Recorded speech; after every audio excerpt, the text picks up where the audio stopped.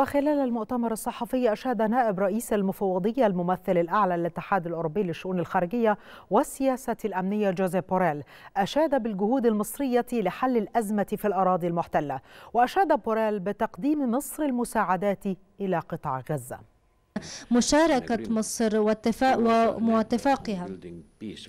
فهي كانت فاعلة في بناء الإسرائيل بناء السلام مع إسرائيل بعد سنوات عديدة من الحرب في إسرائيل في إسرائيل وهي تدعم وتوفر الدعم غزة ولكن ليس فقط السماح لا فقط ليس فقط تسمح لعبور الدعم ولكن تقدم الدعم دعني أعبر عن مدى أهمية الدعم التي تقدموه ولكن نحن ندعمهم ولكن أنتم تدعمون بشكل مباشر وفي أي عمليات في بناء السلام مصر عليها أن تلعب دورا استراتيجيا في العالم العربي وأيضا في العالم الإسلامي وفي مع علاقاتها معا.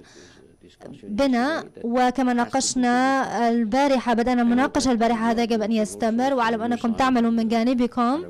على تقديم الأفكار التي مستعدون لمشاركتها والعمل عليها معا.